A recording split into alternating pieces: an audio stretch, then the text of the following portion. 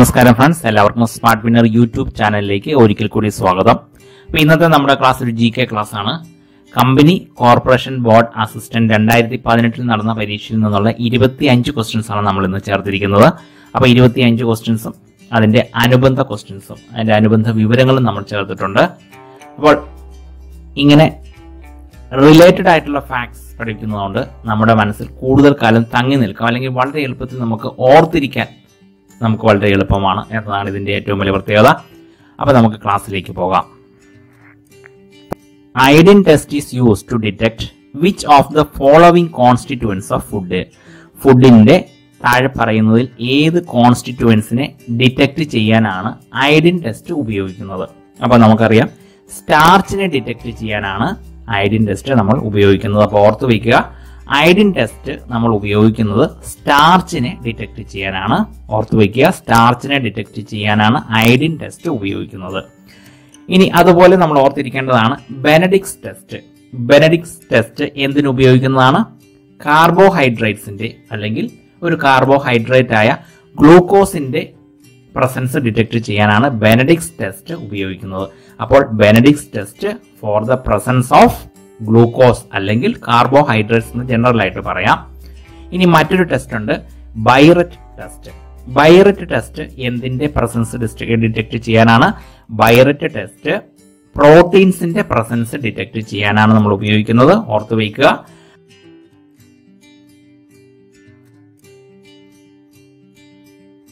Who discovered penicillin in nineteen twenty eight ആയിരത്തി തൊള്ളായിരത്തി ഇരുപത്തി എട്ടിൽ പെൻസിലിൻ ആരാണ് കണ്ടുപിടിച്ചത്? അപ്പൊ നമുക്കറിയാം പെൻസിലിൻ കണ്ടുപിടിച്ചത് അലക്സാണ്ടർ ഫ്ലെമിംഗ് ആണ്. അലക്സാണ്ടർ ഫ്ലെമിംഗ് ആണ് പെൻസിലിൻ കണ്ടുപിടിച്ചത്. It was in nineteen twenty eight അതുപോലെ എഡ്വേർഡ് ജെനർ എഡ്വേർഡ് ജെനർ എന്താണ് കണ്ടുപിടിച്ചത്? He was the pioneer of smallpox vaccine smallpox vaccine കണ്ടുപിടിച്ചത് എഡ്വേർഡ് ജെനർ ആണ് ആദ്യത്തെ വാക്സിൻ ആണ് ലോകത്തിലെ ആദ്യത്തെ വാക്സിൻ ആണ്. സ്മോൾ പോക്സിന്റെ വാക്സിൻ കണ്ടുപിടിച്ച ആരാണ്? എഡ്വാർഡ് ജെനർ അപ്പൊ അതുകൊണ്ട് തന്നെ he is known as the father of immunology ഇമ്യൂണോളജിയുടെ father ആയിട്ട് അറിയപ്പെടുന്നത് ആരാണ്? എഡ്വാർഡ് ജെനർ ആണ്.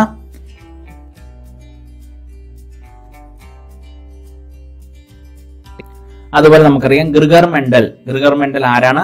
Is known as the father of modern genetics modern ജെനറ്റിക്സിന്റെ father ആയിട്ട് അറിയപ്പെടുന്നത് ഗ്രിഗർ മെൻഡൽ ആണ്. He discovered the basic principles of heredity ഹെറിഡിറ്റിയുടെ basic principles കണ്ടുപിടിച്ച ആളാണ് ഗിർഗർ Mendel ഇനി അടുത്തത് നമുക്ക് നോക്കാം. ലൂയിസ് പാസ്റ്റർ ലൂയിസ് പാസ്റ്റർ ആരാണ്? റാബീസിന്റെ വാക്സിൻസ് അതായത് പേപ്പട്ടി വിഷബാധയ്ക്കുള്ള വാക്സിൻ കണ്ടുപിടിച്ചത് അല്ലെങ്കിൽ പേപ്പട്ടി വിഷബാധയെ പ്രതിരോധിക്കാനുള്ള വാക്സിൻ കണ്ടുപിടിച്ചത് അതുപോലെ ആന്ത്രാക്സ് വാക്സിൻസ് ആദ്യമായിട്ട് വികസിപ്പിച്ചത് ലൂയിസ് പാസ്റ്റർ ആണ്. ഓർത്തിരിക്കുക rabies vaccines and anthrax vaccines were first developed by Louis Pasteur. ഇനി അതുപോലെ തന്നെ നമുക്കറിയാം മിൽക്കിന്റെ പാസ്റ്ററൈസേഷൻ. പാസ്റ്ററൈസേഷൻ എന്ന പ്രോസസ് കണ്ടുപിടിച്ചതും ആര് തന്നെയാണ്? ലൂയിസ് പാസ്റ്റർ ആണ് ഓർത്തിരിക്കുക ലൂയിസ് പാസ്റ്റർ ആണ് റാബിസ് ആന്ത്രാക്സ് വാക്സിനുകൾ കണ്ടുപിടിച്ചതും അതുപോലെ പാസ്റ്ററൈസേഷൻ എന്ന് പറയുന്ന പ്രോസസ് കണ്ടുപിടിച്ചതും ലൂയിസ് പാസ്റ്റർ ആണ് which is the lightest metal ഏറ്റവും ലൈറ്റസ്റ്റ് ആയിട്ടുള്ള മെറ്റൽ ഏതാണ്? Which is the lightest metal അത് നമുക്കറിയാം. Lithium is the lightest metal ഓർത്തിരിക്കുക lithium is the lightest metal അപ്പൊ അങ്ങനെയാണെങ്കിൽ നമുക്കറിയാം ദ ഡെൻസസ്റ്റ് മെറ്റൽ ഏതാണ്? ഡെൻസസ്റ്റ് അല്ലെങ്കിൽ ദ ഹെവിയസ്റ്റ് മെറ്റൽ എന്നറിയപ്പെടുന്നത് ഓസ്മിയമാണ്. ഓർത്തിരിക്കുക ലൈറ്റസ്റ്റ് മെറ്റൽ ലിഥിയവും densest metal ഓസ്മിയവുമാണ്.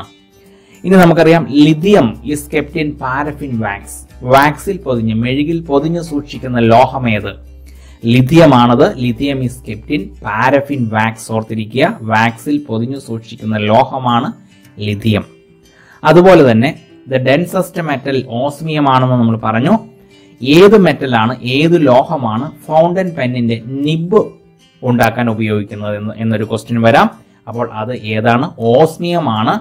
Osmium metal is used for making the nib of the fountain pen ഓർത്തിരിക്കുക.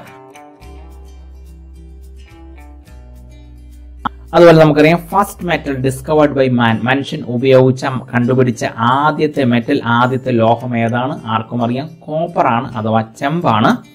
മനുഷ്യൻ ആദ്യമായിട്ട് കണ്ടുപിടിച്ചതും ഉപയോഗിച്ചതുമായ മെറ്റൽ ഓർത്തിരിക്കുക ചെമ്പ് the first metal discovered by man ഇനി അതുപോലെ നമുക്കറിയാം the hardest metal which is the hardest metal chromium is the hardest metal ഓർത്തിരിക്കുക chromium is the hardest metal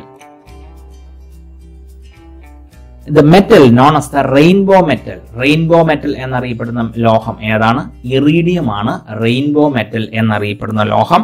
അതുപോലെ തന്നെ ഏറ്റവും കൊറോഷൻ റെസിസ്റ്റന്റ് ആയിട്ടുള്ള മെറ്റലും ഇറീഡി ഇറീഡിയമാണ് അതായത് ഒട്ടും തുരുമ്പിക്കാത്ത അഥവാ വായുവിൽ തുറന്നു വെച്ച് കഴിഞ്ഞാൽ പ്രതിപ്രവർത്തനം അധികം നടക്കാത്ത ഒരു ലോഹമാണ് ശരിക്കും പറഞ്ഞാൽ ഇറീഡിയം ഇനി the metal which does not allow X-rays to pass through എക്സ്റേയെ pass through pass ചെയ്യാൻ അനുവദിക്കാത്ത മെറ്റലാണ് ലെഡ് അപ്പൊ അത് ഓർക്കുക the metal which does not allow X-rays to pass through lead ആണ് also the most stable element ഏറ്റവും stable ആയിട്ടുള്ള element എന്ന് പറയുന്നതും ലെഡ് ആണ്. ഓർത്തു വയ്ക്കുക the most stable element is lead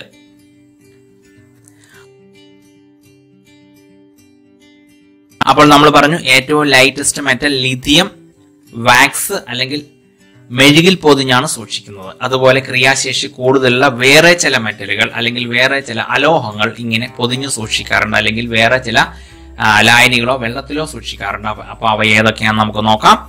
metal kept in kerosene മണ്ണെണ്ണയിൽ സൂക്ഷിക്കുന്ന മൂലകങ്ങൾ അല്ലെങ്കിൽ ലോഹങ്ങളാണ് സോഡിയവും പൊട്ടാഷ്യവും. മണ്ണെണ്ണയിൽ സൂക്ഷിക്കുന്ന ലോഹങ്ങൾ ഏതൊക്കെയാണ്? സോഡിയം ആൻഡ് പൊട്ടാഷ്യമാണ്. മെറ്റൽ സ്കെപ്റ്റിൻ കറസിൻ ഓർത്തു വെക്കണം. അതുപോലെ മെറ്റൽ സ്റ്റോർഡ് ഇൻ ഓയിൽ ഓയിലിൽ സൂക്ഷിക്കുന്ന മെറ്റൽ ഏതാണ്? ബേരിയമാണ്. ഓയിലിൽ സൂക്ഷിക്കുന്ന മെറ്റൽ ഓർത്തിരിക്കുക.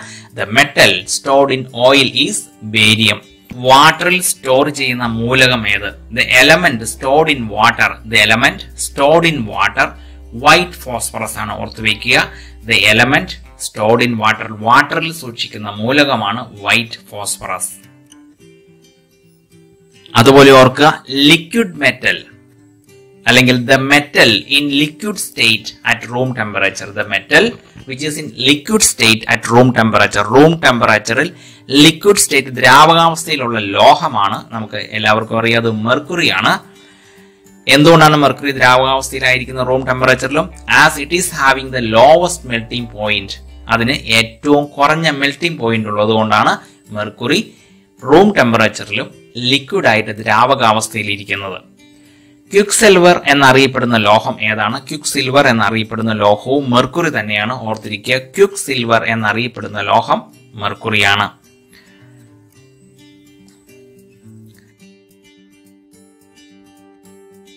ഇനി അതുപോലെ metal having highest melting point അപ്പൊ നമ്മളിവിടെ പറഞ്ഞു ലോവസ്റ്റ് മെൽറ്റിംഗ് പോയിന്റ് ഉള്ള മെറ്റൽ ഏതാണ്? മെർക്കുറിയാണ് അതുകൊണ്ടാണ് അത് റൂം ടെമ്പറേച്ചറിൽ ദ്രാവകാവസ്ഥയിൽ സ്ഥിതി ചെയ്യുന്നത്.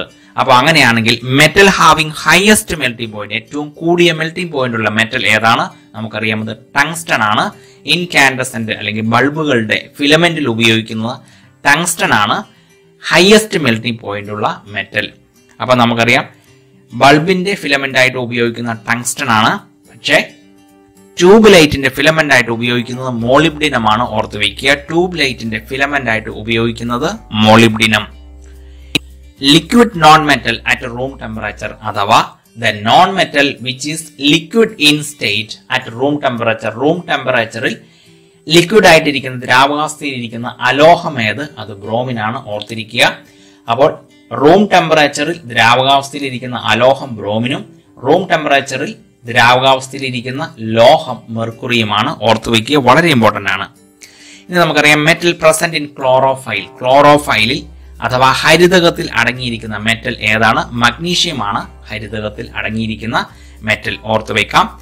ഇനി അതുപോലെ the first man made element is ആദ്യമായിട്ട് മനുഷ്യൻ ഉണ്ടാക്കിയ എലമെന്റ് മൂലകം ഏതാണ്? The first man made element is technetium ടെക്നീഷ്യമാണ് മനുഷ്യൻ ആദ്യമായിട്ട് ഉണ്ടാക്കിയ മൂലകം അഥവാ കൃത്രിമ ഫസ്റ്റ് കൃത്രിമ മൂലകം ടെക്നീഷ്യമാണ് ഓർത്തിരിക്കാം. Instrument which converts sound to electric signal is ഏത് ഇൻസ്ട്രുമെന്റ് ആണ് സൗണ്ടിനെ ഇലക്ട്രിക് സിഗ്നലിലേക്ക് മാറ്റുന്നത് അല്ലെങ്കിൽ കൺവേർട്ട് ചെയ്യുന്നത് താഴെ പറയുന്നവയിൽ അപ്പോൾ ഇതിന്റെ ആൻസർ നമുക്കറിയാം. മൈക്രോഫോൺ ആണ് ഇപ്പൊ മൈക്രോഫോണിന് മുമ്പിൽ നിന്നാണ് നമ്മൾ സംസാരിക്കുന്നത്. അപ്പോൾ സൗണ്ട് എനർജിയാണ് മൈക്രോഫോണിലേക്ക് എത്തുന്നത്. ആ സൗണ്ടിനെ ശരിക്കും പറഞ്ഞാൽ മൈക്രോഫോൺ ഇലക്ട്രിക് സിഗ്നലുകളാക്കി മാറ്റുകയാണ് ചെയ്യുന്നത്. മൈക്രോഫോൺ ആണ് ശരിക്കും പറഞ്ഞാൽ സൗണ്ടിനെ ഇലക്ട്രിക് സിഗ്നലുകളാക്കി മാറ്റുന്നത്.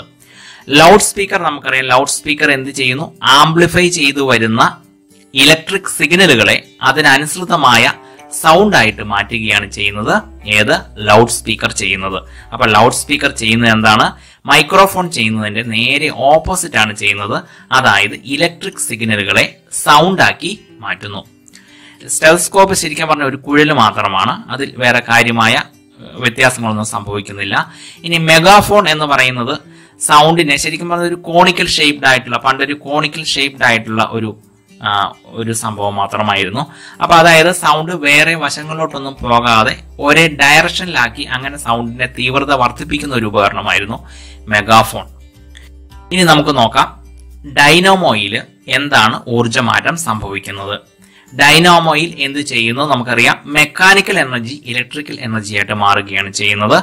മെക്കാനിക്കൽ എനർജി എന്ന് പറഞ്ഞാൽ ചലിക്കുന്ന ചലിപ്പിക്കുന്ന ആ ഒരു ഊർജമാണ് മെക്കാനിക്കൽ എനർജി അപ്പൊ ഡൈനാമോയിൽ സംഭവിക്കുന്ന അതേ ഊർജ മാറ്റം തന്നെയാണ് ജനറേറ്ററുകളിലും സംഭവിക്കുന്നത്. അപ്പൊ ഡൈനാമോയിലും ജനറേറ്ററുകളിലും മെക്കാനിക്കൽ എനർജി ഇലക്ട്രിക്കൽ എനർജി ആയിട്ട് മാറുകയാണ് ചെയ്യുന്നത്. ഇനി നമുക്ക് നോക്കാം ഇലക്ട്രിക് ഫാനിൽ എന്താണ് സംഭവിക്കുന്നത്? മോട്ടോറിൽ എന്താണ് സംഭവിക്കുന്നത്? ഇലക്ട്രിക് ഫാനും ഇനി മോട്ടോറും ഒക്കെ ശരിക്കും പറഞ്ഞാൽ ഡൈനോമോയുടെ നേരെ ഓപ്പോസിറ്റ് ആണ് സംഭവിക്കുന്നത്. ഇലക്ട്രിക് ഫാനിൽ നമ്മൾ എന്ത് കൊടുക്കുന്നു? നമ്മൾ ഇലക്ട്രിക് ഊർജം ഇലക്ട്രിക് എനർജി കൊടുക്കുന്നു. ഇലക്ട്രിക് എനർജി കൊടുക്കുമ്പോൾ അത് എന്തായി അത് കറങ്ങുന്നു. അങ്ങനെ കറങ്ങിക്കഴിഞ്ഞ് നമുക്ക് നമുക്ക് പറയാം അത് മെക്കാനിക്കൽ ഊർജമാക്കി മാറ്റി. അപ്പോൾ ഇലക്ട്രിക് ഫാനിലും അതുപോലെ മോട്ടോറിലും സംഭവിക്കുക എന്താണ്? ഇലക്ട്രിക് എനർജിയെ മെക്കാനിക്കൽ എനർജിയായിട്ട് കൺവേർട്ട് ചെയ്യുന്നു. ഓർത്തിരിക്കുക. ഇനി ബാറ്ററിയിൽ സംഭവിക്കുന്ന എന്താണ്? ബാറ്ററിയിൽ ഊർജം സംഭരിച്ചു വെക്കുന്നത് കെമിക്കൽ എനർജി ആയിട്ടാണ് സംഭരിച്ചു വെച്ചിട്ടുള്ളത്. അപ്പോൾ ബാറ്ററിയിൽ നടക്കുന്ന ഊർജമാറ്റം എന്ന് പറയുന്ന പറയുന്നത് ഈ കെമിക്കൽ എനർജി നമുക്ക് ആവശ്യമുള്ളപ്പോൾ ഇലക്ട്രിക്കൽ എനർജി ആയിട്ട് മാറപ്പെടുന്നു എന്നതാണ്. അപ്പോൾ ബാറ്ററിയിൽ നടക്കുന്ന ഊർജമാറ്റമാണ് chemical energy to electrical energy loudspeaker നമ്മൾ ഓൾറെഡി പറഞ്ഞു കഴിഞ്ഞു. ഇനി നമുക്ക് നോക്കാം. സോളാർ സെല്ലിൽ എന്താണ് സംഭവിക്കുന്നത്? സോളാർ സെല്ലിൽ സോളാർ എനർജിയെ നമുക്ക് ആവശ്യമുള്ള ഇലക്ട്രിക്കൽ എനർജിയാക്കി മാറ്റുകയാണ് ചെയ്യുന്നത്. അപ്പോൾ സോളാർ സെല്ലിൽ സംഭവിക്കുന്നത് solar energy is get converted to electrical energy. ഓർത്തു വയ്ക്കുക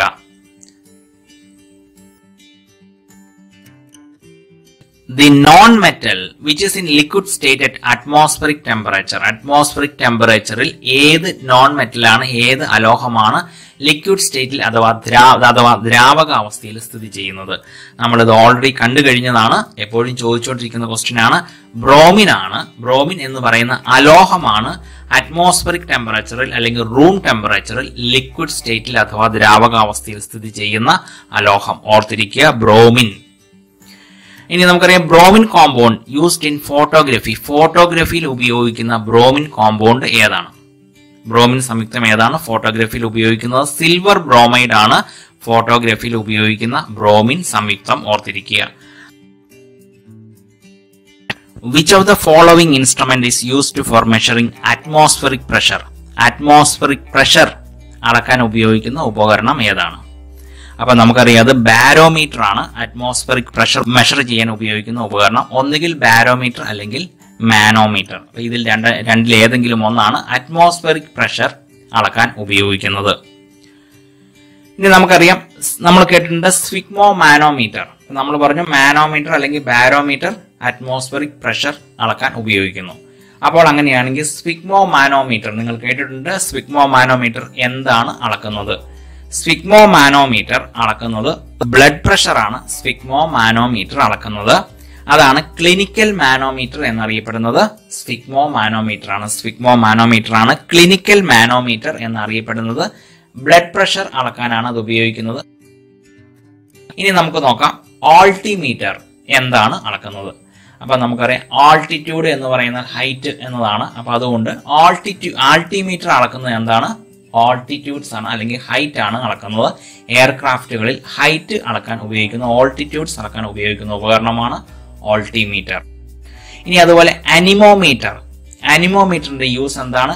It measures the speed of wind വിൻഡിന്റെ അഥവാ കാറ്റിന്റെ സ്പീഡ് അളക്കാൻ ഉപയോഗിക്കുന്ന ഉപകരണമാണ് അനിമോമീറ്റർ ഇനി ഓർത്ത് വെക്കുക hydrometer measures specific gravity of liquids ലിക്വിഡ്സിന്റെ specific gravity അളക്കാൻ ഉപയോഗിക്കുന്ന ഉപകരണമാണ് ഹൈഡ്രോമീറ്റർ. ഓർത്ത് വെക്കുക. പക്ഷെ ഹൈഗ്രോമീറ്റർ ഹ്യൂമിഡിറ്റി ഓഫ് എയർ ആണ് അളക്കുന്നത്. ഓർത്ത് വെക്കുക. Hygrometer to measure humidity of humidity of air അതേസമയം ഹൈഡ്രോമീറ്റർ എന്താണ് അളക്കുന്നത്? സ്പെസിഫിക് ഗ്രാവിറ്റി ഓഫ് ലിക്വിഡ്സ് ലിക്വിഡ്സിന്റെ സ്പെസിഫിക് ഗ്രാവിറ്റിയാണ് ഹൈഡ്രോമീറ്റർ അളക്കുന്നത്. ഇനി നമുക്ക് ഓർത്ത് വെക്കാം. Crescograph. Crescograph invented by J C Bose J C Bose invent ചെയ്തതാണ് ക്രസ്കോഗ്രാഫ്. നമുക്കറിയാം സസ്യങ്ങളുടെ വളർച്ച രേഖപ്പെടുത്തുന്ന ഉപകരണമാണ് crescograph. Invented by ഇന്ത്യക്കാരനായ J C Bose invented by J C Bose crescograph for recording growth of plants ഓർത്ത് വയ്ക്കുക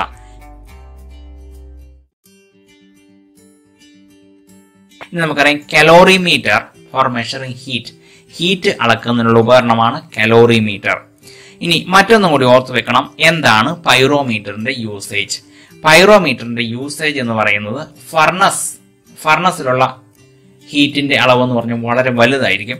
അതുപോലെ സണ്ണിലെ ഹീറ്റ് അളക്കാനൊക്കെ ഉള്ള ഉപകരണമാണ് ശരിക്കും പറഞ്ഞാൽ പൈറോമീറ്റർ അപ്പൊ pyrometer for measuring high temperatures high temperatures measure ചെയ്യാൻ ഉപയോഗിക്കുന്ന ഉപകരണമാണ് പൈറോമീറ്റർ കലോറിമീറ്ററും ഹീറ്റ് എനർജി അളക്കാൻ ഉപയോഗിക്കുന്ന ഉപകരണമാണ്. പക്ഷെ pyrometer for measuring high temperature ഓർത്തു വയ്ക്കുക ഇനി ഒന്നും കൂടി ഓർത്തു വെക്കാം. Geiger Muller counter. Geiger Muller counter എന്തിനാണ് ഉപയോഗിക്കുന്നത്? To detect the presence of radiation റേഡിയേഷന്റെ അളവ് അളക്കാനുള്ള ഉപകരണമാണ് ഗൈഗർ മുള്ളർ കൗണ്ടർ. ഓർത്ത് വയ്ക്കാം Geiger Muller counter to detect the presence of radiation the nitrogen base which is not present in D N A is D N എയിൽ ഇല്ലാത്ത nitrogen base ഏതാണ്? അപ്പൊ നമുക്കറിയാം യുറാസിലാണ് ഡി എൻ എയിൽ ഇല്ലാത്ത nitrogen base uracil R N എയിലാണ് ഉള്ളത്. ഇനി നമുക്ക് നോക്കാം ഏതൊക്കെ നൈട്രജൻ ബേസുകളാണ് ഡി എൻ എയിലും ആർ എൻ എയിലും ഉള്ളത്. ഡി എൻ എയിലും ആർ എൻ എയിലും മൂന്ന് നൈട്രജൻ ബേസുകൾ കോമൺ ആണ്. അതായത് അഡനിൻ ഗ്വാനിൻ സൈറ്റോസിൻ എന്ന് പറയുന്ന മൂന്ന് നൈട്രജൻ ബേസുകൾ ഡി എൻ എയിലുമുണ്ട് ആർ എൻ എയിലുമുണ്ട്. ഇനി ആർ എൻ എയിൽ ഇല്ലാത്തതും ഡി എൻ എയിൽ ഉള്ളതുമായ നൈട്രജൻ ബേസ് ആണ് തൈമിൻ. ഓർത്തിരിക്കുക തൈമിനാണ് ഡി എൻ എയിൽ മാത്രമുള്ള നൈട്രജൻ ബേസ്. അതുപോലെ തന്നെ ആർ എൻ എയിൽ മാത്രമുള്ള നൈട്രജൻ ബേസ് ആണ് യുറാസിൽ. അപ്പോൾ ഓർത്തു വെക്കുക ഡി എൻ എയിൽ മാത്രമുള്ള നൈട്രജൻ ബേസ് ആണ് തൈമിൻ. ആർ എൻ ഇയിൽ മാത്രമുള്ള നൈട്രജൻ ബേസ് ആണ് യുറാസിൽ. അപ്പോൾ കോമൺ ആയിട്ടുള്ള മൂന്നെണ്ണം ഓർത്ത് വെക്കുക. Adenine guanine cytosine.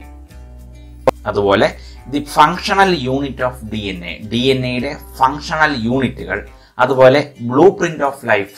ലൈഫിന്റെ blueprint the hereditary unit എന്നൊക്കെ പറയുന്നത് ജീൻസ് ആണ്. ജീനുകളാണ് the functional unit of D N A blueprint of life. The hereditary unit എന്നൊക്കെ അറിയപ്പെടുന്നത് ജീൻസ് ആണ്. അങ്ങനെ ക്വസ്റ്റ്യൻസ് വരാം. ഇനി അതുപോലെ തന്നെ genes are located in chromosomes ക്രോമോസോമുകളിലാണ് genes കാണപ്പെടുന്നത്. അതുപോലെ നമുക്കറിയാം number of chromosomes in human cell human സെല്ലിൽ അല്ലെങ്കിൽ മനുഷ്യ ശരീരത്തിലെ സെല്ലുകളിൽ എത്ര ക്രോമോസോംസ് ആണ് ഉള്ളത്? ആകെ നാൽപ്പത്തി ആറ് ക്രോമോസോംസ് ആണ് ഉള്ളത്. ഇരുപത്തിമൂന്ന് പേറുകളിലായി നാൽപ്പത്തി ആറ് ക്രോമോസോമുകളാണ് മനുഷ്യ ശരീരത്തിൽ ഉള്ളത്. അതുപോലെ എപ്പോഴും ക്വസ്റ്റ്യൻ വരാവുന്ന മറ്റൊന്നാണ് the double helical model of D N A D N എയുടെ double helical model was discovered by ആരാണ് ഡിസ്കവർ ചെയ്തത്? The double helical model of D N A was discovered by James Watson and Francis Crick James വാട്സണും Francis ക്രിക്കുമാണ് double helical model of D N A discover ചെയ്തത്. ഇനി gene ആരാണ് discover ചെയ്തത്? Gene was discovered by Walter Sutton ആണ്. Genes discover ചെയ്യുന്നത് gene was discovered by Walter Sutton ഓർത്തിരിക്കുക. ഇനി നമുക്ക് വളരെ എളുപ്പത്തിൽ ഓർത്തിരിക്കാവുന്ന മറ്റൊരു കാര്യം പഠിക്കാം. Sugar of D N A D N എയിലെ ഷുഗർ എന്താണ്? ഡിയോക്സി റൈബോസ് ആണ് ഡി എൻ എ എന്ന് പറയുന്നത് ഡിയോക്സി റൈബോ ന്യൂക്ലിക് ആസിഡ് ആണ് ഡി എൻ എ എന്ന് പറയുന്നത്. ഡിയോക്സി റൈബോ ന്യൂക്ലിക് ആസിഡ് ആണ് so sugar of D N എന്ന് പറയുന്ന ആദ്യത്തെ ആ ഭാഗം ഡിയോക്സി റൈബോസ് ആണ് ഇനി ആർ എൻ എ എന്ന് പറയുന്നത് നമുക്കറിയാം. ആർ എൻ എ എന്ന് പറയുന്നത് നമുക്കറിയാം. റൈബോ ന്യൂക്ലിക് ആസിഡ് ആണ്. അതുകൊണ്ട് ആർ എൻ എയിൽ പ്രസന്റ് ആയിട്ടുള്ള ഷുഗർ എന്ന് പറയുന്നത് റൈബോസ് ആണ് ആർ പ്രസന്റ് ആയിട്ടുള്ള ഷുഗർ ആദ്യത്തെ ഭാഗം അതിന്റെ പേരിന്റെ ആദ്യത്തെ ഭാഗം ribose. Which of the following diseases is not a bacterial disease bacterial disease അല്ലാത്തത് ഏത്? താഴെ പറയുന്നതിൽ ബാക്ടീരിയൽ ഡിസീസ് അല്ലാത്തത് ഏത്? നമുക്കറിയാം ചിക്കൻ പോക്സ് ആണ് ബാക്ടീരിയൽ ഡിസീസ് അല്ലാത്തത് താഴെ പറയുന്നവയിൽ. ഇനി നമുക്ക് നോക്കാം ടി ബി ട്യൂബർക്കുലോസിസ് ക്ഷയം എന്ന് പറയുന്ന T B is caused by mycobacterium tuberculosis tuberculosis എന്ന എന്ന ബാക്ടീരിയമാണ് ശരിക്കും പറഞ്ഞാൽ ടി ബി ഉണ്ടാക്കുന്നത്. അപ്പോൾ അതൊരു ബാക്ടീരിയൽ ഡിസീസ് ആണ്. ഇനി അടുത്ത് ടെറ്റനസ് ബാക്ടീരിയം ക്ലോസ്ട്രീഡിയം ടെറ്റനിയാണ് ടെറ്റനസ് ഉണ്ടാക്കുന്ന ബാക്ടീരിയ ക്ലോസ്ട്രീഡിയം ടെറ്റനിയാണ് ടെറ്റനസ് ഉണ്ടാക്കുന്ന ബാക്ടീരിയ ഇനി നമുക്കറിയാം ആന്ത്രാക്സ് അത് ഒരു ബാക്ടീരിയ ആണ് ഉണ്ടാക്കുന്നത്. Anthrax is caused by Bacillus anthracis എന്ന് പറയുന്ന ബാക്ടീരിയയാണ് ആന്ത്രാക്സ് ഉണ്ടാക്കുന്നത്. Bacillus anthracis. ഇനി നോക്കുക ചിക്കൻ ബോക്സ് ഉണ്ടാക്കുന്നത് എന്താണ്? വാരിസെല്ല സോഫ്റ്റർ വൈറസ് ആണ് ചിക്കൻ ബോക്സ് ഉണ്ടാക്കുന്നത്. ചിക്കൻ ബോക്സ് ഉണ്ടാക്കുന്നത് വാരിസെല്ല സോഫ്റ്റർ വൈറസ് ആണ്. ഓർത്തിരിക്കുക varicella zoster virus. The part of the brain which help the body balance ബോഡിയെ balance ചെയ്യാൻ സഹായിക്കുന്ന മസ്തിഷ്ക ഭാഗം ഏതാണ്? നമുക്കറിയാം അത് സെറിബെല്ലമാണ്. അപ്പോൾ നമ്മൾ ബാലൻസ് എന്ന് കേൾക്കുമ്പോൾ നമ്മൾ ഓർത്തിരിക്കേണ്ടതാണ് ബെല്ലം എന്ന് നമ്മൾ ഓർക്കുക. അല്ലെങ്കിൽ ബെല്ലം എന്ന് വരുമ്പോൾ നമ്മൾ അന്നേരം ബാലൻസ് ഈക്വിലിബ്രിയം എന്നൊക്കെ ഓർക്കുക. അപ്പോൾ അങ്ങനെയാണെങ്കിൽ സെറിബ്രവും സെറിബെല്ലവും നമുക്ക് മാറിപ്പോകാതിരിക്കും. സെറിബെല്ലം ഫോർ ബാലൻസ് ബാലൻസ് ചെയ്യാനാണ് സെറിബെല്ലം നമ്മളെ സഹായിക്കുന്നത്. അപ്പോൾ അതുകൊണ്ട് തന്നെ നമുക്കറിയാം ആൽക്കഹോൾ മദ്യം കുടിക്കുന്നയാൾ ശരിക്കും പറഞ്ഞാൽ ആടി ആടി പോകുന്നത് എന്തുകൊണ്ടാണ്? ഈ ബാലൻസിനെ ബാധിക്കുന്നത് കൊണ്ടാണ്. മദ്യം എന്തിനെ ബാധിക്കുന്നു? ബാലൻസ് ചെയ്യുന്ന ആ മസ്തിഷ്ക ഭാഗത്തെ അതായത് ബെല്ലത്തെ സെറിബെല്ലത്തെ ബാധിക്കുന്നു. അപ്പ- അപ്പോൾ ആൽക്കഹോൾ അഫക്റ്റ് ചെയ്യുന്ന മസ്തിഷ്ക ഭാഗം ഏതാണ്? സെറിബെല്ലമാണ്. അതുപോലെ നമുക്കറിയാം മദ്യം കുടിക്കുന്നയാളുടെ മസ്കുലാർ മൂവ്മെന്റ്സ് അയാളുടെ കാൽ പേശികൾ അവയെല്ലാം അങ്ങോട്ടും ഇങ്ങോട്ടും മാറി മാറി വഴുതി വഴുതി പോകുന്നതും എന്തുകൊണ്ടാണ്? All muscular movements are control by cerebellum എല്ലാ മസ്കുലാർ മൂവ്മെന്റ്സും കൺട്രോൾ ചെയ്യുന്നത് ആരാണ്? സെറിബെല്ലമാണ് അപ്പോൾ all muscular movements are control by cerebellum അതുപോലെ ശരീരത്തിന്റെ തുലന നിലയെ നിയന്ത്രിക്കുന്നത് സെറിബെല്ലമാണ് അതുപോലെ തന്നെ second largest part of the brain രണ്ടാമത്തെ വലിയ ഭാഗം ഒന്നാമത്തെ വലിയ ഭാഗം സെറിബ്രമാണ്. അപ്പൊ രണ്ടാമത്തെ വലിയ ഭാഗം എന്നറിയപ്പെടുന്നത് എന്നത് ശരിക്കും പറഞ്ഞാൽ സെറിബെല്ലമാണ്. അതുകൊണ്ട് തന്നെ ദ ലിറ്റിൽ ബ്രെയിൻ എന്നറിയപ്പെടുന്നതും സെറിബെല്ലമാണ്. ഓർത്തിരിക്കുക. Cerebrum the largest and uppermost part of the brain. ബ്രെയിനിന്റെ മസ്തിഷ്കത്തിന്റെ ഏറ്റവും വലുതും ഏറ്റവും മുകളിൽ നിൽക്കുന്നതുമായ ഭാഗമാണ് സെറിബ്രം എന്ന് പറയുന്നത്. Cerebrum is the largest and uppermost part of the brain ഇനി അതുപോലെ തന്നെ cerebrum is a seat of intelligence ഇന്റലിജൻസിന്റെ ബുദ്ധിയുടെ സീറ്റ് ആണ് ശരിക്കും പറഞ്ഞാൽ സെറിബ്രം എന്ന് അറിയപ്പെടുന്നത്. അപ്പോൾ ഒരു മനുഷ്യൻ എന്തായി തീരണം? ഒരു മനുഷ്യന്റെ വ്യക്തിത്വം എന്ന് പറയുന്നത് ശരിക്കും പറഞ്ഞാൽ സെറിബ്രമാണ് തീരുമാനിക്കുന്നത്. ഒരു മനുഷ്യൻ എത്ര മാത്രം ഉയർന്നുയർന്നു പോകണം എന്നൊക്കെ തീരുമാനിക്കുന്നത് സെറിബ്രമാണ്.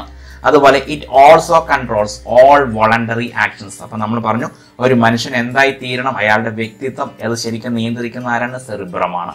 അതുകൊണ്ട് തന്നെ എല്ലാ വോളണ്ടറി ആക്ഷൻസിനെയും കൺട്രോൾ ചെയ്യുന്നത് സെറിബ്രമാണ്. കാരണം നമ്മുടെ ബോധപൂർവമായ ആക്ഷൻസ് കൊണ്ടാണ് നമ്മൾ ശരിക്കും പറഞ്ഞാൽ എന്തായി എന്തെങ്കിലുമൊക്കെ ആയിത്തീരുന്നത്. അപ്പൊ അതുകൊണ്ട് ഓർത്ത് വെക്കുക ഓൾ വോളണ്ടറി ആക്ഷൻസ് നമ്മൾ ഒരാളുടെ എങ്ങനെ സംസാരിക്കണം? അല്ലെങ്കിൽ നമ്മൾ ഒരാളുടെ എങ്ങനെ പെരുമാറണം ഒരു പ്രത്യേക സാഹചര്യത്തിൽ നമ്മൾ എങ്ങനെ പെരുമാറണം ഇതൊക്കെ തീരുമാനിക്കുന്നത് ആരാണ്? സെറിബ്രമാണ്. അതായത് നമ്മൾ ഉണർന്നിരിക്കുമ്പോൾ നമ്മൾ സ്വന്തമായിട്ട് ചെയ്യുന്ന എല്ലാ പ്രവർത്തനങ്ങളും ചെയ്യുന്നത് ആരാണ്? സെറിബ്രമാണ്. അപ്പോൾ ഓർത്ത് വയ്ക്കുക all voluntary actions are control by cerebrum അതുപോലെ ദ സീറ്റ് ഓഫ് ഇന്റലിജൻസ് എന്നറിയപ്പെടുന്നത് സെറിബ്രമാണ് മസ്തിഷ്കത്തിന്റെ ഏറ്റവും വലിയ ഭാഗം ഏറ്റവും മുകളിൽ കാണുന്ന ഭാഗമാണ് സെറിബ്രം ഇനി അടുത്തതാണ് മെഡില്ല ഒബ്ലാങ്കട്ട. മെഡില്ല ഒബ്ലാങ്കട്ടയാണ് ഇപ്പൊ നമ്മൾ പറഞ്ഞു all voluntary actions are control by cerebrum ഇനി all involuntary actions are control by medulla oblongata. Medulla ഒബ്ലോങ്കട്ടയാണ് എല്ലാ ഇൻവോളണ്ടറി എല്ലാ അനൈശ്ചിക പ്രവർത്തനങ്ങളും നിയന്ത്രിക്കുന്നത് മെഡില്ല ഒബ്ലാങ്കട്ടയാണ്. അതായത് പ്രധാന അനൈശ്ചിക പ്രവർത്തനങ്ങളാണ് ഹാർട്ട് ബീറ്റ് റെസ്പിറേഷൻ ഇവയൊന്നുമില്ലെങ്കിൽ മനുഷ്യൻ അന്നേരം ചത്തുപോകും. അപ്പൊ അതുകൊണ്ട് തന്നെ മെഡില്ല ഒബ്ലാങ്കേറ്റയ്ക്ക് സംഭവിക്കുന്ന ഏതൊരു ക്ഷതവും ഏറ്റവും പെട്ടെന്നുള്ള മരണത്തിന് കാരണമാകുന്നു. അപ്പൊ അതായത് any injury to medulla oblongata causes sudden health ഏറ്റവും പെട്ടെന്നുള്ള മരണത്തിന് കാരണമാകുന്നത് മെഡില്ല ഒബ്ലാങ്കേറ്റയ്ക്ക് സംഭവിക്കുന്ന ക്ഷതമാണ്. കാരണം മെഡില്ല ഒബ്ലാങ്കേറ്റയ്ക്ക് ഒരു ക്ഷതം സംഭവിച്ചു കഴിഞ്ഞാൽ ആന്തരിക പ്രവർത്തനങ്ങൾ അതോടുകൂടി നിലച്ചു പോകും ഹാർട്ട് ബീറ്റ് നിലച്ചു കഴിഞ്ഞാൽ തീർന്നു. സംഭവം തീർന്നു. അപ്പോൾ ഓർത്ത് വെക്കുക മെഡില്ല ഒബ്ലാങ്കേറ്റയാണ് ഓൾ ഇൻവോളണ്ടറി ആക്ഷൻസ് എല്ലാ അനൈശ്ചിക പ്രവർത്തനങ്ങളും നിയന്ത്രിക്കുന്നത്.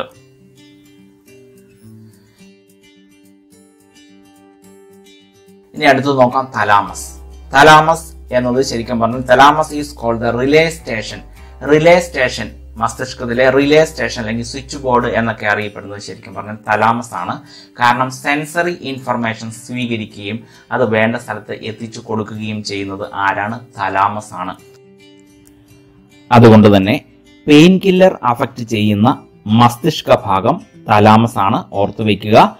പെയിൻ കില്ലർ അഫക്റ്റ് ചെയ്യുന്ന മസ്തിഷ്ക ഭാഗം തലാമസ്.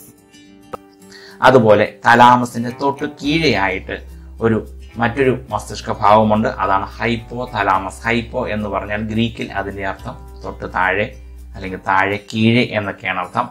അപ്പോൾ ഹൈപ്പോ തലാമസ് എന്താണ് ചെയ്യുന്നത്? ടെമ്പറേച്ചർ റെഗുലേഷൻ അതുപോലെ ഏറ്റവും പ്രധാനമാണ് ടെമ്പറേച്ചർ റെഗുലേഷൻ അതുപോലെ ഹങ്കർ തെസ്റ്റ് എമോഷണൽ റിയാക്ഷൻസ് ഇതെല്ലാം കൺട്രോൾ ചെയ്യുന്നത് ആരാണ്? ഹൈപ്പോ തലാമസ് ആണ്. ഓർത്തിരിക്കുക. ശരീരത്തിന്റെ ടെമ്പറേച്ചർ റെഗുലേഷൻ അതുപോലെ തന്നെ hunger thirst all emotional reactions ഇതെല്ലാം കൺട്രോൾ ചെയ്യുന്നതാണ് ഹൈപ്പോ തലാമസ് എന്ന മസ്തിഷ്ക ഭാഗം.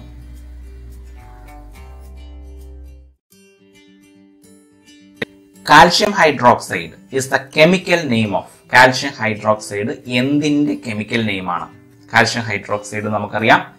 മിൽക്ക് ഓഫ് ലൈമിന്റെ കെമിക്കൽ നെയിമാണ് കാൽഷ്യം ഹൈഡ്രോക്സൈഡ് ഇനി നമ്മൾ നോക്കുക. ലൈം സ്റ്റോൺ ചോക്ക് മാർബിൾ അതുപോലെ ഓയിസ്റ്റർ ഷെൽഫ് മുട്ടത്തോട് ഇവയെല്ലാം കാൽഷ്യം കാർബണേറ്റ് ആണ്. ഓർക്കുക limestone chalk marble oyster shell മുട്ടത്തോട് ഇവയെല്ലാം കാൽഷ്യം കാർബണേറ്റ് തന്നെയാണ്. Calcium carbonate C S C A C O three ആണ് അതിന്റെ രാസനാമം. ഇനി ഈ കക്കയെ ഈ ലൈം സ്റ്റോണിനെ അല്ലെങ്കിൽ ഓയിസ്റ്റർ ഷെൽസിനെ നമ്മൾ നീറ്റുകയാണ് നമ്മൾ കത്തിക്കുകയാണെന്ന് വിചാരിക്കുക. അപ്പോൾ നമുക്ക് നീറ്റിയ കക്ക ലഭിക്കും. നീറ്റിയ കക്കയാണ് ശരിക്കും പറഞ്ഞാൽ ലൈം അല്ലെങ്കിൽ ക്യുക്ക് ലൈം എന്നറിയപ്പെടുന്നത്. നീറ്റ് കക്കയാണ് ലൈം അല്ലെങ്കിൽ ക്യുക്ക് ലൈം എന്നറിയപ്പെടുന്നത്. നീറ്റ് കക്കയാണ്. അങ്ങനെ കത്തിക്കുമ്പോൾ ഈ സി ഒ ത്രീയിൽ നിന്ന് ഒരു carbon dioxide C O two പുറത്തു പോകും. പിന്നെ അവശേഷിക്കുന്ന ഒരു ഓ ആണ്. അതായത് C A O calcium oxide ആണ് ശരിക്കും പറഞ്ഞാൽ ലൈം അല്ലെങ്കിൽ ക്യുക്ക് ലൈം. അതായത് നീറ്റിയ കക്ക ശരിക്കും പറഞ്ഞാൽ എന്തായിത്തീരും? C A O calcium oxide ആയിത്തീരും. ഓക്കെ കാൽഷ്യം ഓക്സൈഡ് ഇനി ഇതേ കക്ക നമ്മൾ വെള്ളത്തിൽ എടുത്തിടുകയാണെന്ന് വിചാരിക്കുക. അപ്പൊ അങ്ങനെയാണെങ്കിൽ നമുക്ക് എന്ത് കിട്ടും? സ്ലേക്കഡ് ലൈം കിട്ടും. വെള്ളത്തിലിട്ട കക്ക കിട്ടും. സ്ലേക്കഡ് ലൈം കിട്ടും. ഈ സ്ലേക്കഡ് ലൈം ഇപ്പൊ വെള്ളത്തിലിടുമ്പോൾ ഈ കാൽഷ്യം ഓക്സൈഡ് സി എയോ വെള്ളവുമായിട്ട് പ്രതിപ്രവർത്തിക്കും. എച്ച് പ്ലസ് ഒ എച്ച് ആണ് വെള്ളത്തിന്റെ പ്രതിപ്രവർത്തിക്കുന്ന ആ ഒരു ബ്രേക്ക് എന്ന് പറയുന്നത്. അപ്പോൾ കാൽഷ്യം ഓക്സൈഡ് സി എയോ വെള്ളവുമായിട്ട് പ്രതിപ്രവർത്തിച്ച് സി എ ഒ എച്ച് കിട്ടും. അതായത് കാൽഷ്യം ഹൈഡ്രോക്സൈഡ് കിട്ടും. അതിനാണ് നമ്മൾ എന്ത് പറയുന്നത്? സ്ലേക്കഡ് ലൈം എന്ന് പറയുന്നത്. കാൽഷ്യം ഹൈഡ്രോക്സൈഡ് ആണ് സ്ലേക്കഡ് ലൈം എന്ന് അറിയപ്പെടുന്നത്. അപ്പോൾ കാൽഷ്യം ഹൈഡ്രോക്സൈഡ് ആണ് സ്ലേക്കഡ് ലൈം അല്ലെങ്കിൽ വെള്ളം നനഞ്ഞ കക്ക എന്ന് അറിയപ്പെടുന്നത്. ഇനി ഇത് തന്നെയാണ് ശരിക്കും പറഞ്ഞാൽ milk of lime milk of lime എന്ന് പറഞ്ഞാൽ ലൈമിന്റെ ഒരു മിൽക്ക് അല്ലെങ്കിൽ ലൈമിന്റെ വെള്ളം. അത് തന്നെയാണ് ലൈം വാട്ടർ എന്ന് അറിയപ്പെടുന്നതും. ഇതേ കക്ക ഈ കാൽഷ്യം ഓക്സൈഡ് അതായത് ലൈം വെള്ളത്തിലിട്ട് കിട്ടുന്നതാണ് ശരിക്കും പറഞ്ഞാൽ എന്ത്? മിൽക്ക് ഓഫ് ലൈം അത് തന്നെയാണ് ലൈം വാട്ടർ അത് തന്നെയാണ് നമ്മൾ പറഞ്ഞു സ്ലേക്കഡ് ലൈം അപ്പോൾ നിങ്ങൾ ഓർത്തു വയ്ക്കുക milk of lime lime water slaked lime ഇവയെല്ലാം എന്തു തന്നെയാണ്? കാൽഷ്യം ഹൈഡ്രോക്സൈഡ് ആണ് ഒരുമിച്ച് പഠിക്കുക. ഇപ്പൊ വേറെ വേറെ ആയിട്ട് പഠിച്ചു കഴിഞ്ഞാൽ കൺഫ്യൂഷൻ വരും. ഓർക്കുക milk of lime lime water slaked lime ഇവയെല്ലാം രാസപരമായി കാൽഷ്യം ഹൈഡ്രോക്സൈഡ് ആണ്. ഇനി മിൽക്ക് ഓഫ് മഗ്നീഷ്യം അപ്പോൾ എന്തായിരിക്കും? മഗ്നീഷ്യം ഹൈഡ്രോക്സൈഡ് ആയിരിക്കും. കാരണം അത് വെള്ളത്തിലിട്ടതാണ്. മിൽക്ക് ഓഫ് ലൈം എന്ന് വെച്ചാൽ മഗ്നീഷ്യയുടെ മിൽക്കാണ് അതുകൊണ്ട് അതെന്തായിരിക്കും? മഗ്നീഷ്യം ഹൈഡ്രോക്സൈഡ് ആയിരിക്കും. ഇനി നമുക്കറിയാം കോസ്റ്റിക് സോഡ എന്താണ്? കോസ്റ്റിക് എന്ന് പറഞ്ഞാൽ നിങ്ങൾ ഹൈഡ്രോക്സൈഡ് എന്ന് കൂട്ടിച്ചേർത്തോളണം. Caustic soda is sodium hydroxide ആണ്. അതുപോലെ കോസ്റ്റിക് പൊട്ടാഷ് അപ്പോൾ എന്തായിരിക്കും? പൊട്ടാഷ്യം ഹൈഡ്രോക്സൈഡ് ആയിരിക്കും. കോസ്റ്റിക് പൊട്ടാഷ് പൊട്ടാഷ്യം ഹൈഡ്രോക്സൈഡ് ഇനി വളരെ ഇമ്പോർട്ടന്റ് ആയിട്ടുള്ള ചിലവയുടെ രാസനാമങ്ങൾ നമുക്ക് പരിചയപ്പെടാം. ഈഥയിൽ ആൽക്കഹോൾ ഈഥയിൽ ആൽക്കഹോൾ അല്ലെങ്കിൽ മറ്റൊരു പേരാണ് എത്തനോൾ ഈഥയിൽ ആൽക്കഹോളിന്റെ മറ്റൊരു പേരാണ് എഥനോൾ അത് ശരിക്കും സ്പിരിറ്റ് ആണ്. അതാണ് ശരിക്കും സ്പിരിറ്റ് എന്ന് അറിയപ്പെടുന്നത് ഈഥൈൽ ആൽക്കഹോൾ എത്തനോൾ. ഇനി അങ്ങനെയാണെങ്കിൽ മീഥൈൽ ആൽക്കഹോൾ എന്തായിരിക്കും? മെത്തനോൾ ആയിരിക്കും. Methyl alcohol methanol. ഇനി നമുക്ക് നോക്കാം. Washing soda. വാഷിംഗ് സോഡ രാസപരമായി എന്താണ്? സോഡിയം കാർബണേറ്റ് ആണ്. വാഷിംഗ് സോഡ രാസപരമായി സോഡിയം കാർബണേറ്റ് ആണ്. അപ്പോൾ അങ്ങനെയാണെങ്കിൽ അപ്പക്കാരം ബേക്കിംഗ് സോഡ എന്നറിയപ്പെടുന്നത് എന്താണ്? ബേക്കിംഗ് സോഡ എന്നറിയപ്പെടുന്നത് സോഡിയം ബൈകാർബണേറ്റ് ആണ്. അപ്പോൾ ഓർത്തിരിക്കുക ബേക്കിംഗ് സോഡ എന്നറിയപ്പെടുന്നത് സോഡിയം ബൈകാർബണേറ്റ് ആണ്. അപ്പോൾ ബേക്കിങ്ങിനകത്തൊരു ബി എ ഉള്ളതുകൊണ്ട് അതുപോലെ തന്നെ ഇതിനകത്തൊരു ബൈ ഉണ്ട്. അപ്പോൾ ബേക്കിംഗ് സോഡ സോഡിയം ബൈകാർബണേറ്റ് ആണ്. എന്നാൽ വാഷിംഗ് സോഡ സോഡിയം കാർബണേറ്റ് ആണ്. അത് ഓർത്ത് വയ്ക്കുക അതുപോലെ ജിപ്സവും പ്ലാസ്റ്റർ ഓഫ് പാരീസും ജിപ്സവും പ്ലാസ്റ്റർ ഓഫ് പാരീസും രാസപരമായി ഒരേ കോമ്പൗണ്ട് തന്നെയാണ്. കാൽഷ്യം സൾഫേറ്റ് ആണ്. പക്ഷെ അവയുടെ വാട്ടർ തന്മാത്രയുള്ള ചെറിയ വ്യത്യാസമുണ്ട്. എങ്കിലും നമുക്ക് ഇങ്ങനെ ഓർത്തു വെക്കാം. ജിപ്സവും പ്ലാസ്റ്റർ ഓഫ് പാരീസും സെയിം കോമ്പൗണ്ട് ആണ്. കാൽഷ്യം സൾഫേറ്റ് ആണ്. ഓർത്തു വെക്കുക. Gypsum and plaster of Paris calcium sulphate ആണ്. അതുപോലെ എപ്പോഴും ചോദിക്കുന്ന ഒന്നാണ് ഹൈപ്പോയുടെ രാസനാമം. ഹൈപ്പോ ശരിക്കും രാസപരമായി സോഡിയം തയോ സൾഫേറ്റ് ആണ്. ഓർത്തു വയ്ക്കുക ഹൈപ്പോ സോഡിയം തയോ സൾഫേറ്റ് അതുപോലെ ആസ്പിരിൻ ഇമ്പോർട്ടന്റ് ആണ്. ആസ്പിരിന്റെ രാസനാമമാണ് അസറ്റൈൽ സാലി സൈക്ലിക് ആസിഡ് ആസ്പിരിന്റെ രാസനാമം അസറ്റൈൽ സാലി സൈക്ലിക് ആസിഡ് ഓർത്തു വയ്ക്കുക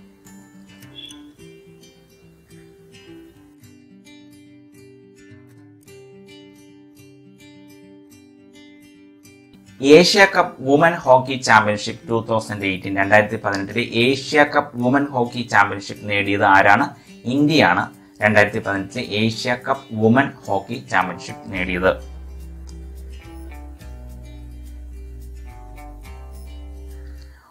Among the following is recent appointed as the goodwill ambassador of UNICEF യൂണിസെഫിന്റെ goodwill ambassador ആരെയാണ് നിയമിച്ചത്? അടുത്ത കാലത്ത് യൂണിസെഫിന്റെ ഗുഡ് വിൽ അംബാസിഡർ നിയമിച്ചത്. അപ്പൊ ഇതെല്ലാം കറണ്ട് അഫയേഴ്സ് ക്വസ്റ്റ്യൻസ് ആണ്. അപ്പോൾ കറണ്ട് അഫയേഴ്സ് ക്വസ്റ്റ്യൻസ് നമ്മൾ വേറെ വീഡിയോ ഉള്ളതുകൊണ്ട് അതിനെക്കുറിച്ച് നമ്മൾ കൂടുതലായിട്ട് പറയുന്നില്ല. അപ്പോൾ പരീക്ഷയ്ക്ക് മുമ്പായിട്ട് നമ്മൾ മറ്റൊരു വീഡിയോ ഇടുന്നതാണ്. ഇങ്ങനെയുള്ള important heads of important offices എന്നൊക്കെ വെച്ചുകൊണ്ടൊരു ഒരു പ്രധാന വീഡിയോ ഇടുന്നതാണ്. The winner of Dada Saheb Phalke award two thousand sixteen രണ്ടായിരത്തി പതിനാറ് ദാദാ സാഹേബ് ഫാൽക്കെ അവാർഡ് ആർക്കാണ് ലഭിച്ചത്? K വിശ്വനാഥനാണ് Dada Saheb Phalke award two thousand sixteen ലഭിച്ചത്. Dada Saheb Phalke award two thousand seventeen രണ്ടായിരത്തി പതിനേഴിലെ ദാദാ സാഹബ് ഫാൽക്കെ അവാർഡ് ലഭിച്ചത് വിനോദ് ഖന്നയ്ക്കാണ് പോസ്റ്റ് ഹ്യൂമസ്ലി വിനോദ് ഖന്നയ്ക്കാണ് ദാദാ സാഹബ് ഫാൽക്കെ അവാർഡ് രണ്ടായിരത്തി പതിനേഴിൽ ലഭിച്ചത്. നമുക്കറിയാം ഫാദർ ഓഫ് ഇന്ത്യൻ സിനിമ എന്ന് അറിയപ്പെടുന്നത് Dada Saheb ഫാൽക്കെയാണ്. Father of Indian cinema Dada Saheb Phalke.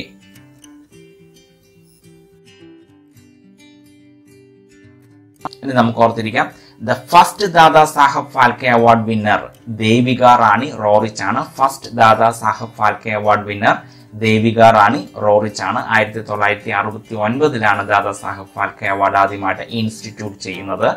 ആ വർഷം തന്നെയാണ് ദേവിക റാണി റോറിച്ചിന് ദാദാ സാഹബ് ഫാൽക്കെ അവാർഡ് ലഭിച്ചത്. ഇന്ത്യൻ സിനിമാ മേഖലയിൽ നൽകപ്പെടുന്ന പരമോന്നത പുരസ്കാരമാണ് ദാദാ സാഹബ് ഫാൽക്കെ അവാർഡ്. ഏറ്റവും വലിയ പുരസ്കാരമാണ് ഇന്ത്യൻ സിനിമാ മേഖലയിലെ ദാദാ സാഹബ് ഫാൽക്കെ അവാർഡ് പുരസ്കാരം. പത്ത് ലക്ഷം രൂപയാണ് ഇതിന്റെ തുക ഓർത്തിരിക്കാം. പത്ത് ലക്ഷം രൂപ. ഇനി നമുക്ക് നോക്കാം. The first Indian film is ആദ്യത്തെ ഇന്ത്യൻ സിനിമ ഏതാണ്? പുണ്ടാലിക്കാണ് ആയിരത്തി തൊള്ളായിരത്തി പന്ത്രണ്ടിലെ പുണ്ടാലിക്കാണ് ഫസ്റ്റ് ഇന്ത്യൻ ഫിലിം അതുപോലെ ഓർത്തിരിക്കുക first film of India indigenously made തദ്ദേശീയമായി നിർമ്മിച്ച ഇന്ത്യയിൽ തന്നെ നിർമ്മിച്ച ഫസ്റ്റ് ഇന്ത്യൻ ഫിലിം എന്ന് പറയുന്നത് രാജ ഹരിശ്ചന്ദ്രയാണ്. ഓർക്കുക Raja Harishchandra directed by Dada Saheb Phalke. Dada Saheb Phalke direct ചെയ്ത രാജ ഹരിശ്ചന്ദ്രയാണ് ഇന്ത്യയുടെ തദ്ദേശീയമായി നിർമ്മിച്ച ആദ്യ സിനിമ. അതുപോലെ ഫസ്റ്റ് ടോക്കി ഫിലിം ആദ്യത്തെ ടോക്കി ഫിലിം എന്ന് പറയുന്നത് ആലം അറയാണ്. ആർദേശിർ ഇറാനി സംവിധാനം ചെയ്ത Alam അറയാണ് the first talkie film. India's first indigenously made colour film ഇന്ത്യയുടെ ആദ്യത്തെ കളർ ഫിലിം തദ്ദേശീയമായി നിർമ്മിച്ച ഇന്ത്യയുടെ ആദ്യത്തെ കളർ ഫിലിം കിസാൻ കന്യയാണ് ഓർത്തു വയ്ക്കുക. കിസാൻ കന്യയാണ് ഇൻഡിജിനസ്ലി ബിൽഡ് ഇൻഡിജിനസ്ലി മെയ്ഡ് ആദ്യമായിട്ട് തദ്ദേശീയമായി ഉണ്ടാക്കിയ ഇന്ത്യൻ സിനിമ അതുപോലെ the first three D cinema ആദ്യത്തെ ത്രീ ഡി സിനിമ ഏതാണ്? മൈ ഡിയർ കുട്ടിച്ചാത്തൻ കേരളത്തിൽ നിന്നുള്ള മൈ ഡിയർ കുട്ടിച്ചാത്തനാണ്. ആയിരത്തി തൊള്ളായിരത്തി എൺപത്തി നാലിലെ ഫസ്റ്റ് ത്രീ ഡി സിനിമ ഇന്ത്യയുടെ ആദ്യത്തെ ഫസ്റ്റ് ത്രീ ഡി സിനിമ എന്നത് മൈ ഡിയർ കുട്ടിച്ചാത്തനാണ്. ആരാണത്? സംവിധാനം ചെയ്തത് ഡയറക്റ്റഡ് ബൈ ജിജോ പുന്നൂസ്. ജിജോ പുന്നൂസ് സംവിധാനം ചെയ്ത മൈ ഡിയർ കുട്ടിച്ചാത്തനാണ് ഇന്ത്യയുടെ ആദ്യത്തെ ത്രീ ഡി സിനിമ. ഇനി ആദ്യത്തെ Sanskrit film the first Sanskrit film is Adishankara. ആദ്യത്തെ സംസ്കൃത സിനിമ ആദിശങ്കരയാണ്. ആദ്യത്തെ സംസ്കൃത സിനിമ ഇന്ത്യയുടെ ആദ്യത്തെ സംസ്കൃത സിനിമ ആദിശങ്കര. ഓർത്തിരിക്കാം.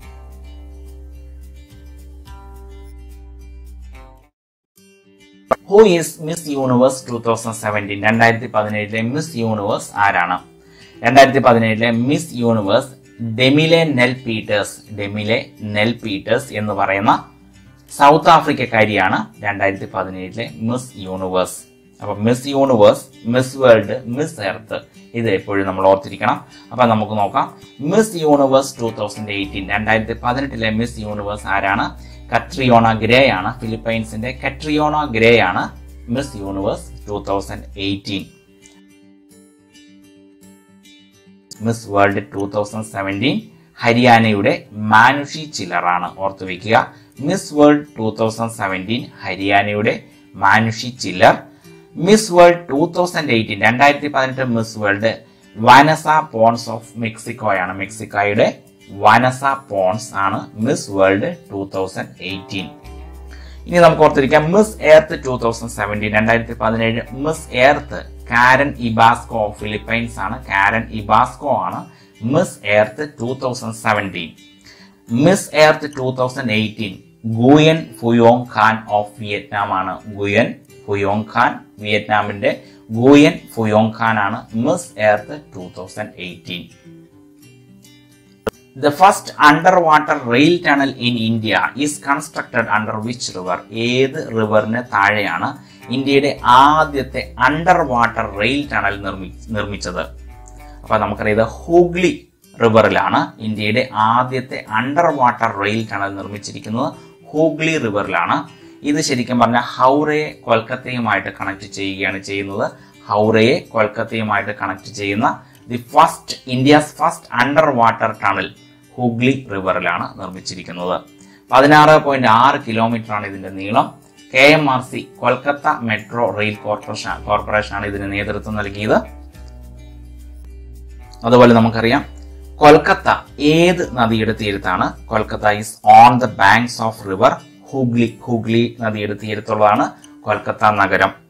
ഇനി അതുപോലെ നമുക്കറിയാവുന്നതാണ് largest rail cum road bridge largest ഏറ്റവും വലിയ rail cum road bridge in India ഏതാണത്? ബോഗി ബീൽ ബ്രിഡ്ജ് ആണ്. Largest rail cum road bridge ഓർത്ത് വയ്ക്കുക four point nine four kilometre അഥവാ അഞ്ച് കിലോമീറ്റർ ആണ് ഈ റെയിൽ കം റോഡ് ബ്രിഡ്ജിന്റെ നീളം. ഇത് ബ്രഹ്മപുത്ര റിവറിലാണ് ആസാമിലാണ് ആസാമിലെ ബ്രഹ്മപുത്ര റിവറിലാണ് ലാർജസ്റ്റ് റെയിൽ കം റോഡ് ബ്രിഡ്ജായ ബോഗി ബിൽ ബ്രിഡ്ജ് സ്ഥിതി ചെയ്യുന്നത്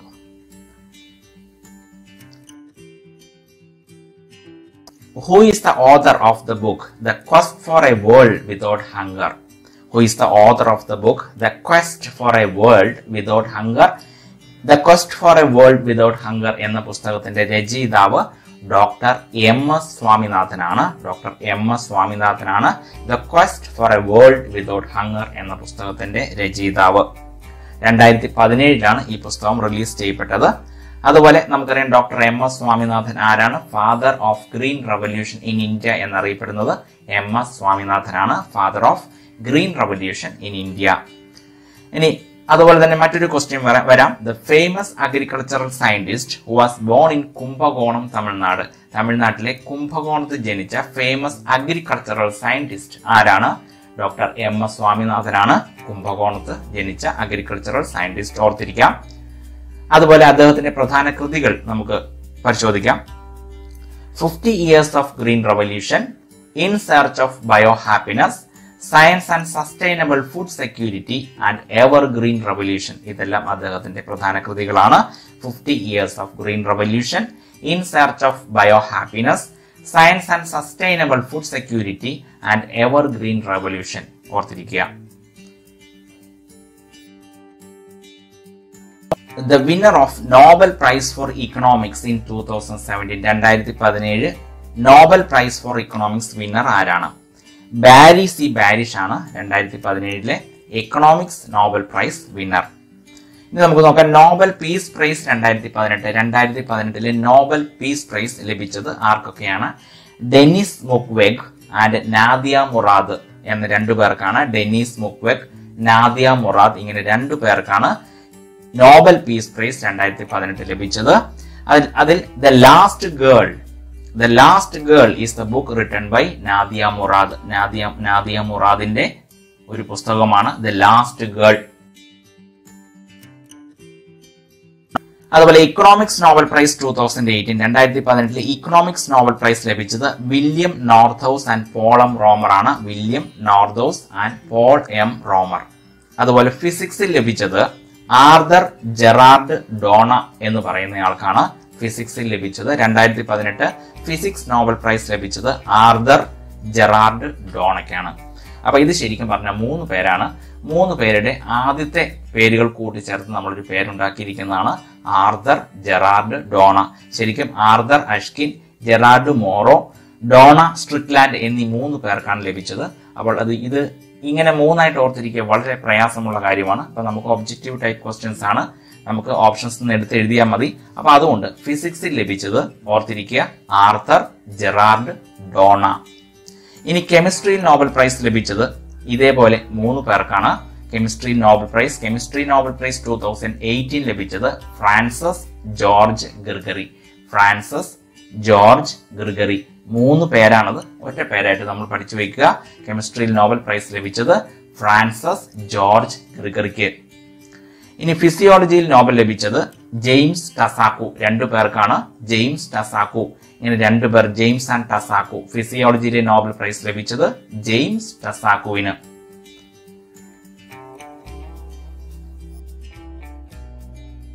Which of the following harbour in Indian ocean has recently been transferred to China by Sri Lanka? Indian ഓഷ്യനിലെ ഏത് ഹാർബർ ആണ് ശ്രീലങ്ക ചൈനയ്ക്ക് കൈമാറിയത്?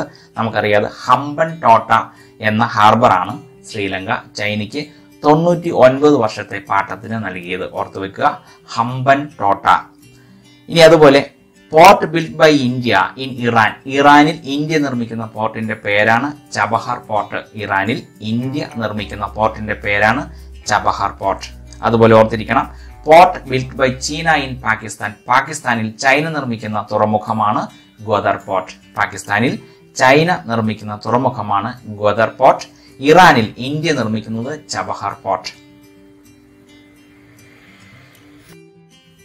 who is the new chairman of national scheduled tribes commission ആരാണ്? പുതിയ chairman national scheduled tribes കമ്മീഷന്റെ പുതിയ chairman ആരാണ്?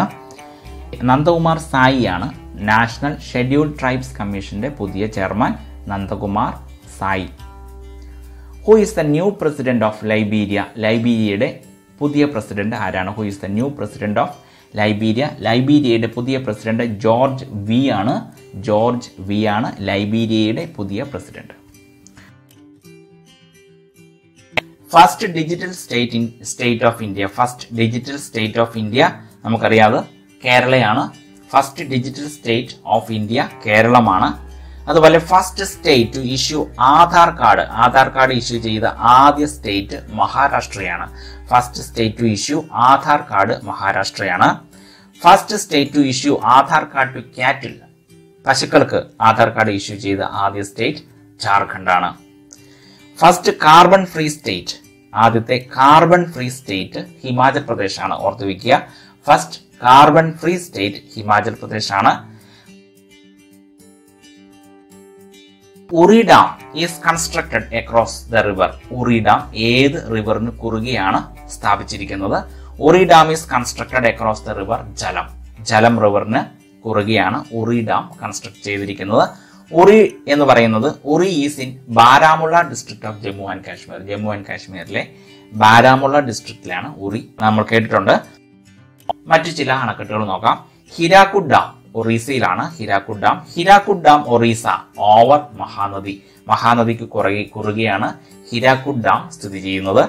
Nagarjuna Sagar dam ആന്ധ്രാപ്രദേശിലാണ് Nagarjuna Sagar dam Andhra Pradesh over Krishna river. Krishna റിവറിന് മുകളിലാണ് നാഗാർജുന സാഗർ ഡാം കൺസ്ട്രക്ട് ചെയ്തിരിക്കുന്നത്. അപ്പൊ Nagarjuna Sagar dam in Andhra Pradesh over Krishna river. Sardar Sarovar dam ഗുജറാത്തിലാണ് ഓർത്തു വയ്ക്കുക സർദാർ സരോവർ ഡാം സ്ഥിതി ചെയ്യുന്നത് ഗുജറാത്തിലാണ്. ഓവർ നർമ്മദ റിവർ നർമ്മദ റിവറിന് കുറുകെയാണ് സർദാർ സരോവർ ഡാം കൺസ്ട്രക്ട് ചെയ്തിരിക്കുന്നത്. ഇനി ഭക്ര ഡാം ഹിമാചൽ പ്രദേശിലാണ് ഭക്ര ഡാം സ്ഥിതി ചെയ്യുന്നത്. ഓവർ സത്ലജ് സത്ലജ് നദിക്ക് കുറുകെ.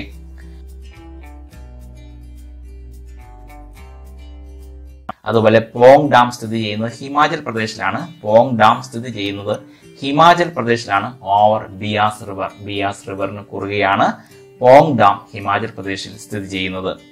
അതുപോലെ അൽമാട്ടി ഡാം കർണാടകയിലുള്ള അൽമാട്ടി ഡാം സ്ഥിതി ചെയ്യുന്നത് കൃഷ്ണ റിവറിന് മുകളിലാണ്. അൽമാട്ടി ഡാം സ്ഥിതി ചെയ്യുന്നത് Krishna റിവറിലാണ്.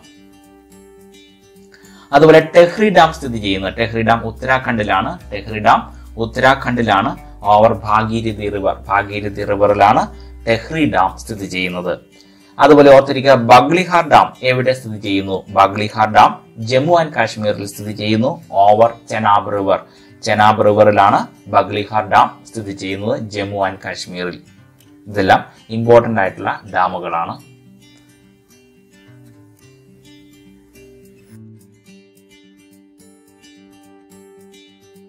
Government of India decided to demonetize rupees 500 and rupees 1000 currency notes with effect from government of India എന്നാണ് ഡിമോണറ്റൈസേഷൻ നടപ്പിലാക്കിയത്. അപ്പൊ നമുക്കറിയാം ഡിമോണറ്റൈസേഷൻ ഗവൺമെന്റ് ഓഫ് ഇന്ത്യ നടപ്പിലാക്കിയത് എയ്റ്റ് നവംബർ ടൂ തൗസൻഡ് സിക്സ്റ്റീനിലാണ് രണ്ടായിരത്തി പതിനാറ് നവംബർ എട്ടിനാണ് ഡിമോണറ്റൈസേഷൻ ഗവൺമെന്റ് ഓഫ് ഇന്ത്യ നടപ്പിലാക്കിയത്. R B I governor at the time of note demonetisation രണ്ടായിരത്തി പതിനാറിലെ നോട്ട് ഡിമോണറ്റൈസേഷൻ സമയത്ത് ആർ ബി ഐ ഗവർണർ ആരായിരുന്നു? ഉർജിത് പട്ടേൽ ആയിരുന്നു R B I governor at the time of note demonetisation two thousand sixteen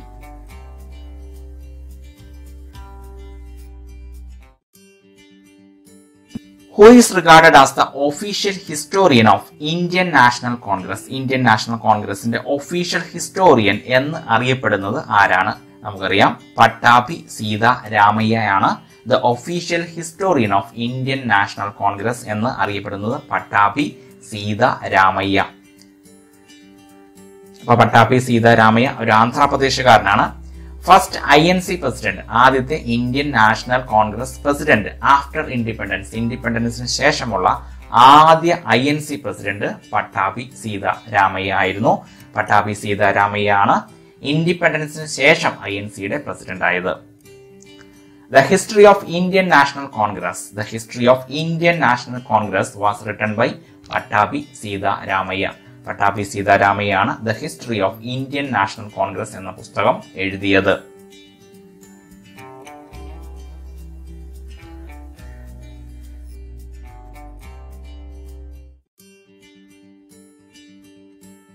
Who was the governor general of India of India during the revolt of 1857? ആയിരത്തി എണ്ണൂറ്റി അൻപത്തി ഏഴിലെ വിപ്ലവത്തിന്റെ സമയത്ത് ആരായിരുന്നു ഗവർണർ ജനറൽ നമുക്കറിയാം അത് ലോർഡ് കാനിങ് ആണ്.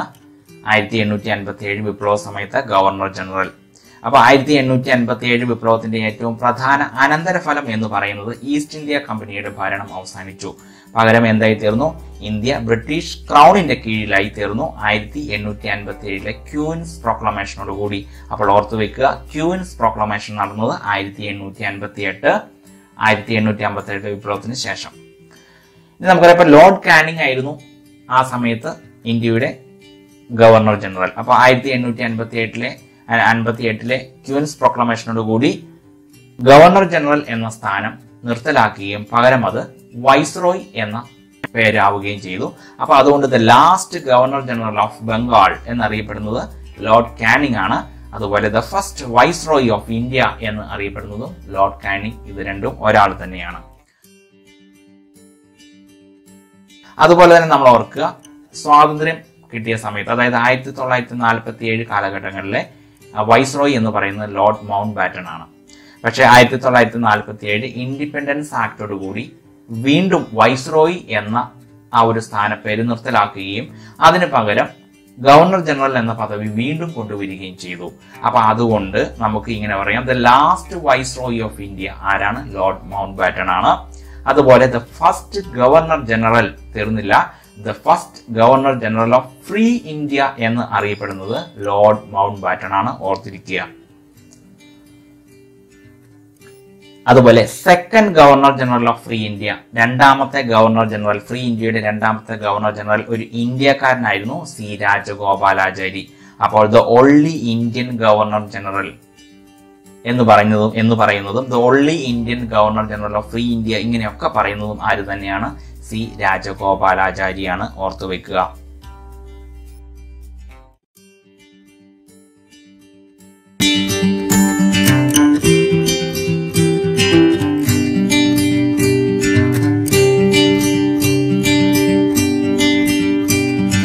ഓക്കെ ഫ്രണ്ട്സ് ഇന്നത്തെ ക്ലാസ് നിങ്ങൾക്ക് ഉപകാരപ്രദമായെങ്കിൽ ലൈക്ക് ചെയ്യാൻ മറക്കരുത്. നിങ്ങളുടെ അഭിപ്രായങ്ങളും നിർദ്ദേശങ്ങളും കമന്റ് ബോക്സിൽ രേഖപ്പെടുത്തുക. അതുപോലെ ആദ്യമായാണ് ചാനൽ കാണുന്നതെങ്കിൽ സബ്സ്ക്രൈബ് ചെയ്യുക. ബെൽ ബട്ടൺ കൂടി അമർത്തുകയാണെങ്കിൽ പുതിയ ക്ലാസ്സുകൾ അപ്ലോഡ് ചെയ്യുമ്പോൾ തന്നെ മൊബൈലിൽ നോട്ടിഫിക്കേഷൻ ലഭിക്കുന്നതാണ്. ഓക്കെ.